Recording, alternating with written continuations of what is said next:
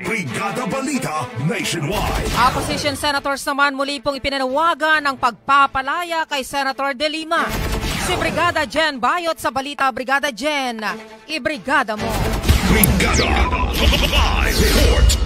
Muling ipinanawagan ng opposition senators na palayain na ang nakakulong na sa Senator Leila De Lima.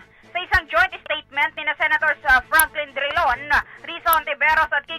Uh, sinabi ng mga ito na naglalaho na ang umano'y mga gawa-gawang ebidensya laban kay Dilima na siya namang nagbibigay daan para sa kanyang kalayaan. Ito ay matapos na lumabas sa isang pagdinig sa kaso ng senadora na mismong ang Anti-Money Laundering Council at Digital Forensic Examiner mula sa Philippine Drug Enforcement Agency ay nagsabing wala silang nakitang patunay na nagsasangkot kay Dilima sa kalakaran ng droga sa loob ng bilibid.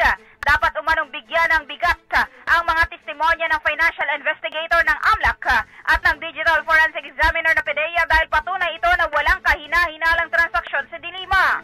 Dagdag pa ng mga ito na tila kumakapit na lamang sa patalim ang mga nagbibintang kay Senator Dilima sa kanilang mga tangka na idiin ito sa isang krimen na hindi niya ginawa.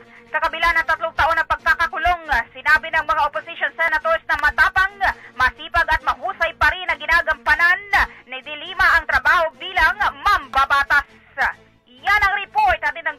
Calasiamas Corbate, katawang healthy achieve sa Guard C. Ito sa Brigada John Bayot, ang Brigada News from Philippines, the Music News Authority. Brigada Balita.